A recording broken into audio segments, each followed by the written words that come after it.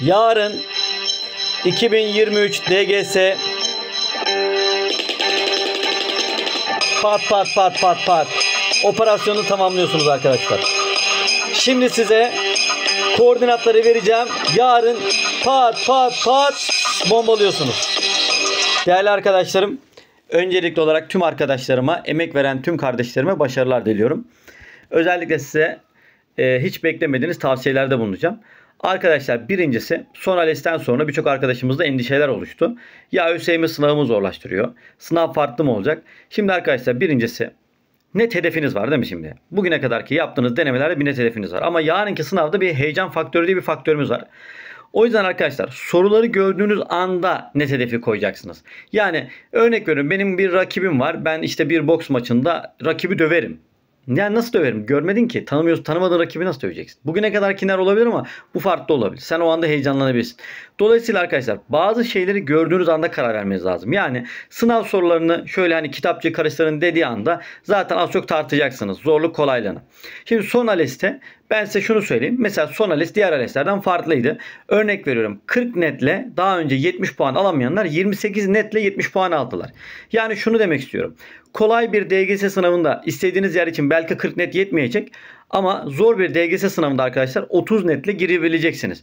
Dolayısıyla soruları gördüğümüz zaman e, psikolojimizi güzel ayarlamamız gerekiyor. İkincisi son yıllarda arkadaşlar ÖSYM yığılmaları önlemek için böyle ne yapıyor? E, zaman alıcı birkaç soru koyuyor. Veya zor görünümlü ama kolay soru yapıyor arkadaşlar. Daha önceki senelerde bunlarla karşılaştık. Özellikle son elesinde mesela üçlü mutlak değer vardı. Ben sınavdan sonra da canlı yayın yaptım. Birçok arkadaşın tepkisi onaydı mesela. Veya oradaki yüzde problemi mesela hikayeliydi onaydı. Halbuki daha sonra çözdüğümüz zaman bir daha önce çözdüğümüz soruların içinde belki de çok kolay e, bir soruydu arkadaşlar. Daha önce çözdüğümüz sorulara göre. Ve birçok arkadaşımız dedi ki ya hocam aslında haklısın. ÖSYM'nin stili bu. Evet arkadaşlar bu sınavın %40'ı belki de psikoloji. Yani psikolojinizi çok e, üst düzeyde iyi tutmalısınız.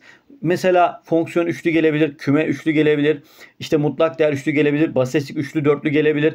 Arkadaşlar bakınız ÖSYM'nin amacı sizin bilip bilmediğinizi test etmek. Sen biliyorsan o görüntüye zaten aldanmayacaksın. Zaten o görüntü zor olmalı. ÖSYM hep bunu yapmıyor mu bugüne kadar? Öyle yapıyor. Yani bunu işte 2022 DGS'de de gördük, son ALES'te de gördük. Dolayısıyla bir kere en iyi netinizi bu sınavda yapmaya odaklanacaksınız. Ve baktığınız sorular zor. Sana zorsa arkadaşına da zor, rakibine de zor.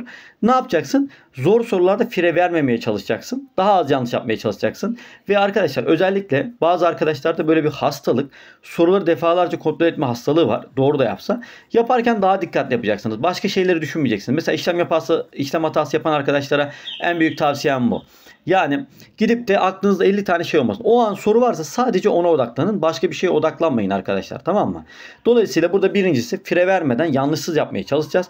İkincisi arkadaşlar baktık ki evet eleyici soru sayısı belli sayıda var. Biz bunlarla üsteli e, yani e, savaşamıyoruz belli bir orandakini yapacaksınız. Sonra ne yapacaksınız? Siz neticede sıralamayla giriyorsunuz arkadaşlar. Bu sınav ALES gibi bir sınav değil. Sıralamayla girdiğiniz için farkı nereden atacaksınız arkadaşlar? Türkçe çözerek. Bakınız yığılmalar için geçen sene uyardım. Birçok arkadaşınız yığılmalara takıldı. Bu sene kontenjanlarda da değişme var. Dolayısıyla artık bazı şeyler bıçak sırtı.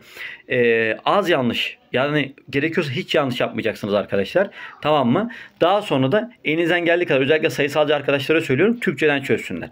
Eşit ağırlıkçı arkadaşlara da şunu söylemek istiyorum. Özellikle hukukçu arkadaşlara. Onlar da arkadaşlar böyle Türkçeyi bedava gibi görmesinler. Türkçeden her sene sınav sonucunda Türkçe belirleyici oluyor. Yani az yanlış yapmaya dikkat edin arkadaşlar. Çok soru işaretlediğiniz zaman e, iyi olacak diye bir garanti yok yani. Ama bizde bu ruhsal hastalık işte. Çok bende de var mesela. İlla çok işaretlemiyor ama sınav sonucu e, senin netlerine bakıyor.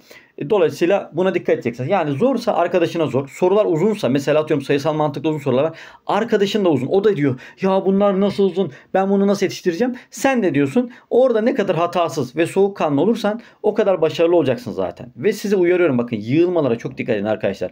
Bunu dinlemiyorsunuz bir daha hazırlanıyorsunuz. Dinlemiyorsunuz bir daha hazırlanıyorsunuz. Bakın ben kaç senedir buna uyarıyorum. Kaç kez de ben bu yığılmaların aşırı sapmasını görüyorum. Hele özellikle okul puanı yani 3000 4000 geri attığını gördüm. Dolayısıyla arkadaşlar Hani bunlara dikkat etmemiz gerekiyor. Soğukkanlı olacağız. Ee, biz şunu bileceğiz. ÖSYM bizim bildiğimiz test ediyor. Dolayısıyla soruları zor görünümlü yap- yapıyor. Yani zor görünümlü yapıyor diye de biz orada aa biz bunu bilmiyor muyum demeyin. Yani atıyorum sen bugüne kadar işte mutlak değerle ilgili bir sürü soru çözürsen sınavda senin bilmediğin bir soru gelmez. Gelmedi de bugüne kadar arkadaşlar. Anlatabiliyor muyum? Bu DGS sınavı, KPSS sınavı biz bunları ne yapıyoruz? İnceliyoruz her sene. Biliyorsunuz ben her sınav sonrası yayın yapıyorum ve e, burada irdeliyorum. İkincisi bazı arkadaşlarda kontrol hastalığı var ya arkadaşlar. Bakın 50 soru var. 50 matematik sorusunu 1 dakikadan bir daha çözdüğünü düşün. 50 dakika yapar. Tamam mı? 50 dakika demek ne demek biliyor musun? Bak sen şimdi sınava 50 dakika geç kalsan ne yaparsın? Paniklersin. O yüzden buna dikkat edeceksiniz arkadaşlar. Kontrol etme hastalığına karşı aklınızı vererek tek seferde e, güzel bir şekilde çözmeye çalışın. Bir başka olaya da arkadaşlar bir başka olay da bakınız e, örnek veriyorum 10 tane boksörle maç yapacaksın. İlk başta Mike Tyson'la yaparsan daha sonra kimseyle maç yapamazsın. Çünkü darma duman olursun. Dolayısıyla zor soruları için sana ÖSYM madalya vermeyecek. Seni ÖSYM özel tebrik etmeyecek. Kimse tebrik etmeyecek. Burada ne kadar soru varsa onu işaretlemeye çalış. Standart sapmada bazı arkadaşların aklında şöyle bir hikaye var. Zor e, çok soru e, zorları yaparsam daha fazla puan alırım. Hayır.